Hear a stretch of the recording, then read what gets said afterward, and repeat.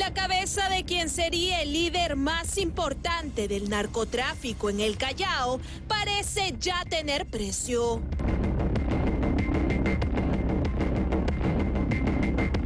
Él es Giancarlos Lobatón Guamán, brazo derecho de alias Caracol y conocido en el mundo de Lampa como Cholo Guara, quien a sus cortos 33 años no ha hecho más que sembrar el terror y derramar sangre en el primer puerto todo para adueñarse del ilícito negocio de la droga que movilizaba empleando buzos profesionales para preñar los barcos con destino a Estados Unidos. Aprendido, fíjate, Tiene que Ahí, ahí, ahí, ahí, ahí. Delitos que han generado que Cholo Guara tenga más de un enemigo, quienes esta madrugada habrían intentado asesinarlo a punta de balazos cuando se movilizaba en una camioneta por la cuadra 50 de la avenida Elmer Fosset. Pero la ferocidad con la que atacaron a Loco Guara y también su pareja esta madrugada se logra evidenciar con la cantidad de disparos que ejecutaron los presuntos enemigos de este delincuente. Y es que, observen, no es uno ni dos, sino un total de 11 balazos.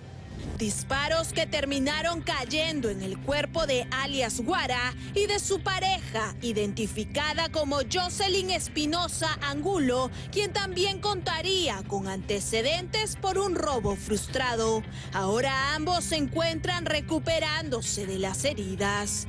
Pero la pregunta del millón es qué hacía el Cholo Guara, líder de los Bravos de Bellavista, manejando libremente por las calles del Callao si hace tan solo un año fue capturado junto a sus cómplices en flagrancia con una maleta llena de droga.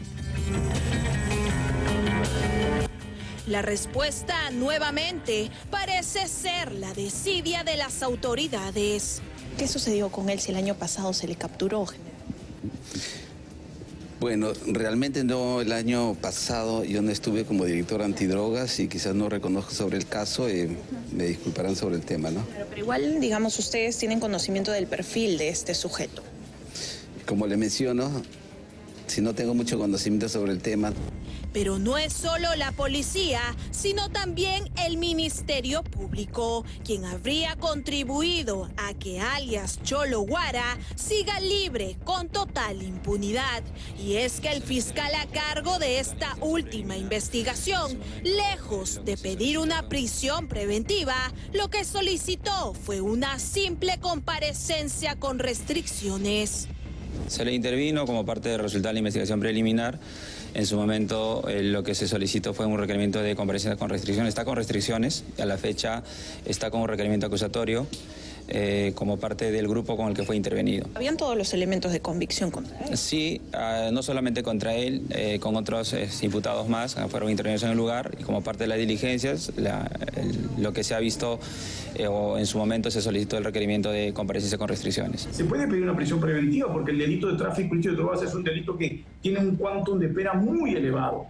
¿no? Entonces, si tenemos elementos que vinculen al sujeto como autor, si tenemos actos del sujeto que perturben la actividad de prueba o que el sujeto representa un peligro de, de, pues, de fuga, de, de sustracción del, del proceso, eh, evidentemente estamos ante todos los elementos de una prisión preventiva. Entonces estamos ante una negligencia en la actividad realizada por el Ministerio Público.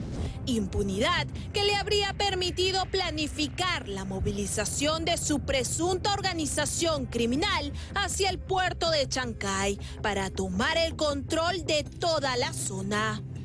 Pero preste mucha atención porque alias Guara no solamente se habría convertido en el mandamás del narcotráfico aquí en el Callao, sino también habría logrado expandir su manto criminal hacia el cobro de cupos. ¿En dónde? Pues nada menos que en la mega obra de la línea 2 del Metro de Lima.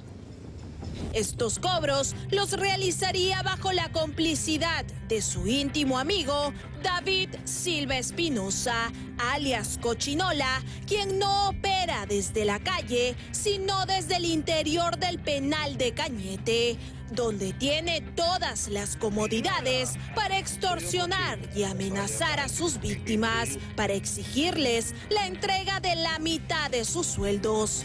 Ahorita como yo estoy preso, usted está haciendo las cosas lo que usted quiere.